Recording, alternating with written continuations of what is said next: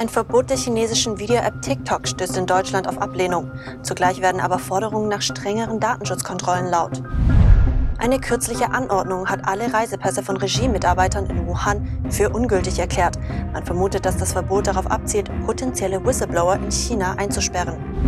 China stockt über Hongkong Computerchips auf, bevor die Handelssanktionen der USA auf der Halbinsel in Kraft treten. Herzlich willkommen bei China im Fokus. Ich bin Evelyn Lee. Ein Verbot der chinesischen Video-App TikTok, wie es von US-Präsident Donald Trump geplant wird, stößt in Deutschland auf Ablehnung. Zugleich werden aber Forderungen nach strengeren Datenschutzkontrollen laut, berichtet die Frankfurter Allgemeine Sonntagszeitung. Man nehme mögliche Gefahren durch TikTok sehr ernst und habe bereits eine Untersuchung des europäischen Datenschutzbeauftragten gegen TikTok angeregt. Das sagte der stellvertretende Fraktionsvorsitzende der FDP, Michael Theurer, der Frankfurter Allgemeinen Sonntagszeitung. Neben politischer Zensur nach den Wünschen der Kommunistischen Partei bereitet uns der Datenschutz bei TikTok die größten Bauchschmerzen. Es ist absehbar, dass die App deutlich nachgebessert werden muss. Für eine Verbotsforderung sei es jedoch zu früh, sagte Teurer.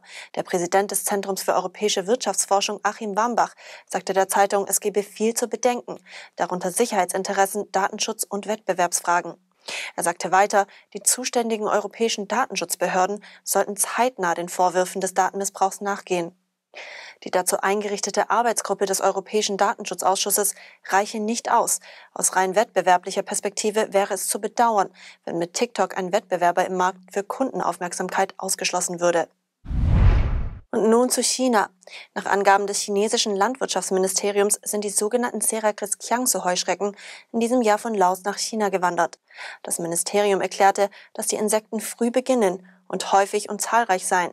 Die Migrationsperiode könnte von Mitte bis Ende August dauern.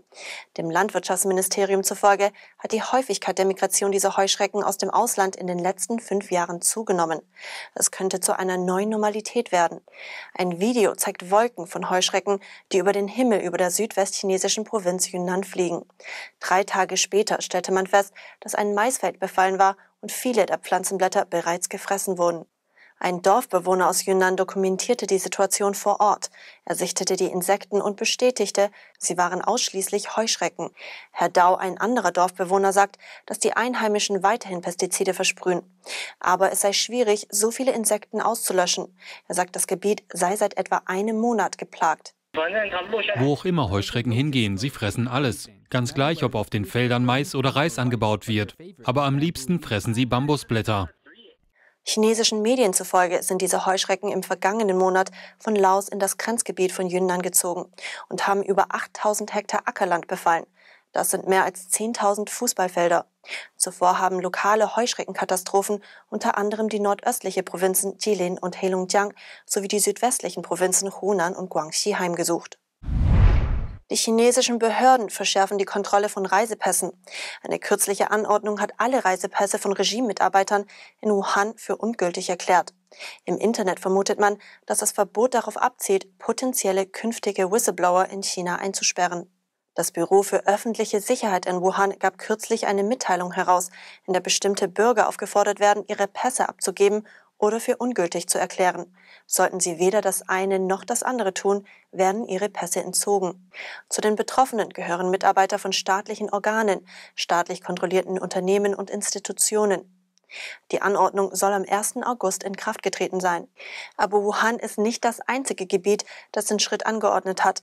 Ein Regierungsbeamter aus der Region Xinjiang sagte gegenüber Radio Free Asia, dass es allen chinesischen Beamten untersagt sei, einen eigenen Pass zu besitzen. Menschen aus anderen Provinzen berichteten ebenfalls, dass ihre Passanträge abgelehnt wurden. Die Behörden haben die Bearbeitung der Anträge eingestellt, entweder wegen der Pandemie oder aufgrund des Vorwands, dass die Einreise in andere Länder zu gefährlich sei. Am 20. Juli erließ das chinesische Justizministerium ein Gesetz. Demnach werden Regierungsbeamten für jegliches Fehlverhalten bestraft. Laut Artikel 31 ist es unter anderem nun strafbar, wenn Beamte China verlassen oder unerlaubt Ausreisepapiere bearbeiten. Verstoßen sie gegen das Gesetz, kostet es ihnen ihren Arbeitsplatz oder Amtstitel. Ein chinesischer Wirtschaftswissenschaftler veröffentlichte die Mitteilung von Wuhan auf Twitter und schrieb, es wird zu spät sein, wenn sie China jetzt nicht verlassen. Ein anderer Nutzer kommentierte, dass der Grund darin besteht, das Auftauchen einer zweiten Yen Limong zu vermeiden. Sie beziehen sich auf die chinesische Virologin und Whistleblowerin, die in die USA geflohen ist. Dort deckte sie auf, wie die Kommunistische Partei Chinas den Virusausbruch vertuscht hat. Nun zu den Entwicklungen des Virus in China. Im äußersten Westen der Region Xinjiang nehmen die Virusfälle weiter zu. Xinjiang ist die Heimat der uigurischen Bevölkerung Chinas, einer ethnischen Minderheit. Jetzt ist die Region streng abgeriegelt, nicht nur in großen Städten, sondern auch in kleineren Gebieten nahe der Grenze. Die Abriegelung ist so streng, dass ein Radfahrer angehalten wurde. Die Behörden verweigerten ihm die Ausreise. Der Fahrer hat ein Video in sozialen Medien veröffentlicht und um Hilfe gebeten. Er sagte, er fuhr mit dem Fahrrad in Richtung eines kleinen Bezirks in Xinjiang, aber die Behörden hielten ihm auf halbem Wege an. Also fuhr er zurück, aber die Behörden am anderen Ende ließen ihn auch nicht hinein. Daher könne er nirgendwo hingehen und auch nicht aus Xinjiang ausreisen. Ich kann jetzt nicht mehr zurück. Es ist kein Transportmittel verfügbar. Alle Landkreise und Städte wurden abgeriegelt. Wenn man einreisen will, ist das nicht erlaubt. Wenn man ausreisen möchte, lassen sie einen auch nicht gehen. Als das Video online ging, schlief der Mann bereits seit drei Nächten unter einer Brücke. Es gibt nichts, was ich tun kann. Kein Essen und kein Trinken in der Nähe. Ich bin seit über zehn Stunden am Verhungern. Peking schickte Überwachungsinstrumente und Tausende von Strafverfolgungsbeamte, um Xinjiang abzuriegeln. In der Zwischenzeit haben die chinesischen Medien nur sehr wenige Informationen über den Ausbruch des Virus veröffentlicht. Die Behörden waren nicht in der Lage, den Ursprung des Ausbruchs zurückzuverfolgen, und die Anwohner sagen, dass sie unter zunehmend strengerer Kontrolle stehen. In der Hauptstadt Ödemti sagen die Anwohner, dass die Behörden Papiersiegel verwenden, um die Menschen in ihren Häusern zu halten. Die Behörden verbieten ihnen, das Siegel zu brechen und ihre Häuser auf eigene Faust zu verlassen. Jetzt sind die Bewohner bei der Lieferung von Lebensmitteln auf Freiwillige angewiesen. In einem Interview mit chinesischen Medien sagte ein Bewohner, wenn Freiwillige kommen, um Lebensmittel zu liefern, entfernen sie das Papiersiegel. Nach der Lieferung kleben sie sie wieder auf. China stockt über Hongkong Computerchips auf, bevor die Handelssanktionen der USA auf der Insel in Kraft treten. Chinesische Importeure kaufen über Hongkong mehr Computerchips. Dies geschieht mit der Aussicht auf US-Sanktionen auf der Insel, die den Handel erheblich erschweren werden. Die Reexporte von Halbleitern über Hongkong nach China sind in der ersten Jahreshälfte um 11 Prozent gestiegen, verglichen mit dem gleichen Zeitraum im Jahr 2019. Die Reexporte, das heißt die Ausfuhr von ausländischen oder importierten Waren, stiegen allein im Juni um 21 Prozent. Der Handel mit Hongkong macht über 38 Prozent der gesamten Chip-Einfuhren Chinas aus. Nachdem Peking Hongkong das nationale Sicherheitsgesetz auferlegt hatte, hob die US-Regierung den Sonderhandelsstatus Hongkongs auf. Dadurch wird der künftige Kauf von Computerchips für chinesische Unternehmen wie Huawei, Xiaomi oder Lenovo erschwert. Der Hongkonger Verband für Elektronik und Technologien schätzt, dass es 300 Firmen gibt, die sich auf diesen Handel spezialisiert haben. Er sagt, dass Handelsunternehmen in Hongkong darüber nachdenken, neue Büros in Indien, Vietnam und Kambodscha einzurichten, um weiterhin an chinesische Kunden verkaufen zu können. Eine Verlagerung wird jedoch kostspielig sein. Wirtschaftswissenschaftler sagen, dass die neuen Regeln eine Lieferblockade für China verursachen könnten. Dies wiederum würde zu höheren Transaktionskosten für die chinesische Technologieindustrie führen. Das FBI untersucht, ob das chinesische Regime versucht hat, sich illegal Informationen über die Virusforschung von amerikanischen Universitäten zu beschaffen. Eine der betroffenen Universitäten ist die University of Texas in Austin, Strafverfolgungsbeamte teilten den Universitätsbeamten mit, dass die Untersuchung nach der Schließung des chinesischen Konsulats in Houston in der vergangenen Woche erfolgt. Das Konsulat wurde unter dem Vorwurf der Spionage geschlossen. Die Universität ist in vielerlei Hinsicht an der Virusforschung beteiligt.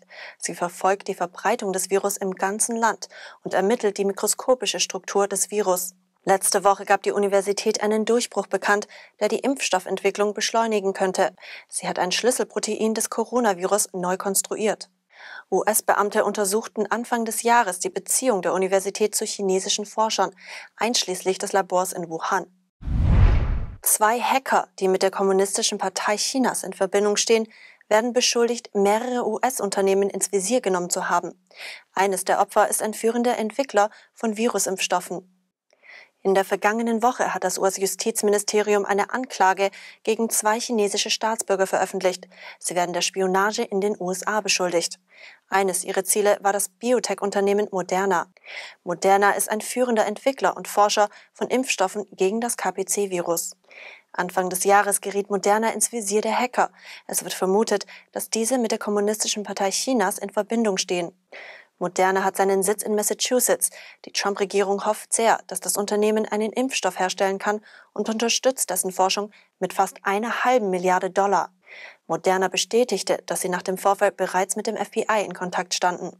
Modernas Sprecher sagte, dass das Unternehmen weiterhin sehr wachsam gegenüber möglichen Bedrohungen der Cybersicherheit sei. Sie unterhalten mehrere Teams, um wertvolle Informationen zu schützen. Das FBI und das US-Gesundheitsministerium lehnten es ab, weitere US-Unternehmen, die im Visier der chinesischen Hacker standen, bekannt zu geben.